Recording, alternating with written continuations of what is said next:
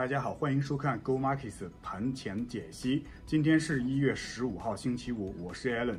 那我们的澳股大盘呢，在周四是再次站上了六千七百点，医疗股 PME 上涨幅度接近了百分之十五，可谓牛气冲天。对于 PME 而言呢，其下一阻力是在三十八的价格区域。那人工耳蜗 COH 在连跌之后是终于实现了反弹。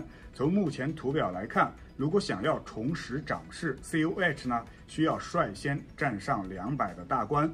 支付板块的大哥 APT 昨天表现不俗，对于 APT 而言，能否突破之前的高位，再创股价的新高，我们拭目以待。而在飘红的身影当中，由于黄金价格迟迟未能突破一九零零，所以黄金股们昨天的表现继续黯淡无光。但这样的过，但这样的过程，在我个人看来，应该被解读为持续的筑底阶段。那香港恒生呢，波动正常，龙头腾讯在因监管问题出现百分之二十左右幅度的调整之后，如今是再次向史上高位发起冲击。我个人看好腾讯的个人观点一如往昔。那上证指数呢？昨天是出现较大幅度的波动。我本人的基金昨天的收益是负的。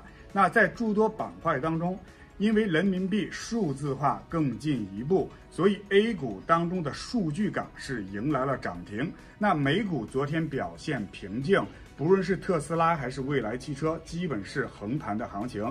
在一干中概股当中，值得一提的是百度，因为人工智能跟无人驾驶等多种专利的先发优势，传出造车战略之后，百度的股价呢是实现了异军突起。关于百度的前途，我是非常看好的。那今天的节目就到这里了，感谢大家的观看，喜欢我们的内容记得点赞跟收藏，并关注我们的频道。那大家如果有其他的问题想和我们讨论，可以添加我们小助手的微信：Go Markets A U 二或者 Go Markets A U 三。在欧洲的朋友也可以直接拨打我们电话零三八六五八零六零二。我是 Go Markets 的 Allen，我们下期节目见。Go Markets 在线交易首选券商。